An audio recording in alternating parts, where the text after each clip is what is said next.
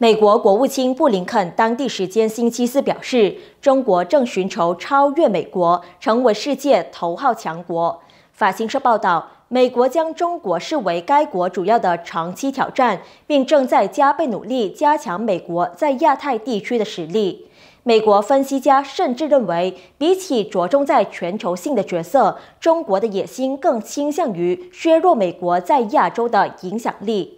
布林肯当天在美国《大西洋月刊》举办的论坛上被问及中国的意图时，表示，他认为中国的目标是成为全球军事、经济和外交上的主导力量，这也是中国国家主席习近平所追求的。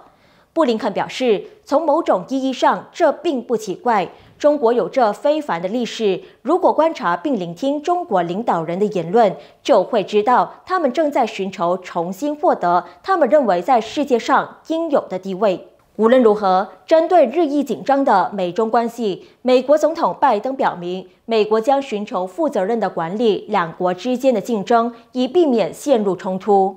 与此同时，布林肯也再次就台湾局势发出警告，再次呼吁北京停止试图改变现状。有鉴于台湾在全球经济中的角色，包括作为先进半导体中心，如果中国的行动引发台湾危机，将触发全球的经济危机。